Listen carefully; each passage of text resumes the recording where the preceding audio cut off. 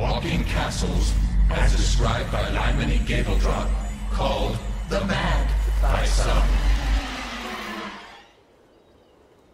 Hey, you want to know about walking castles, eh, berk? I can tell you all about the one I ran into. I was traveling with my fiancée Clarissa and a party of our friends back from Faunel, and we were walking to a portal we knew of in the second ring. It's raining. Find shelter. Over there, look! Yeah, Come on, come hurry up, The nearest shelter was a decrepit-looking hut like an ancient hermitage. But that didn't look like it was being used. I mean, like a bunch of clueless sods, we figured that it meant it wasn't, and we bolted indoors. Good, huh? It turned out to be a lot bigger on the inside than we expected, and a lot better decorated, but none of us took that to mean that anything was amiss. Clarissa picked up some jade figurine that was sitting on a shelf littered with jade figurines and promptly dropped it. Suddenly, the whole hut shakes like it's been hit by an earthquake. Quick, the door!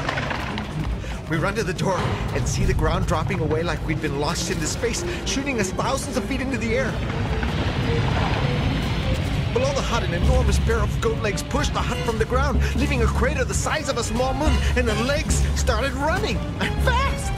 It turned out that the hut's just an observation room on the top of a mobile tower, and apparently the owner decided to pick up and leave. Well, discretion being the better part of valor, I hide behind a potted plant, just in time, too. Some horrid abomination that better belongs in the slime spawning pits of the abyss bursts through the floor and engulfs Clarissa. Then it looks around and sees our friends.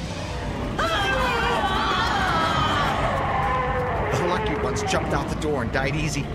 The screaming of the others will echo in my head until the Furies come to take me.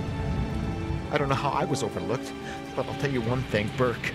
When the castle settled down again, I ran so fast and so far that my feet didn't touch the ground until the first ring.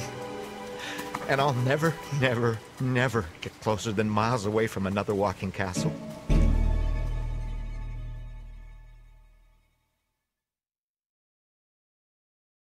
you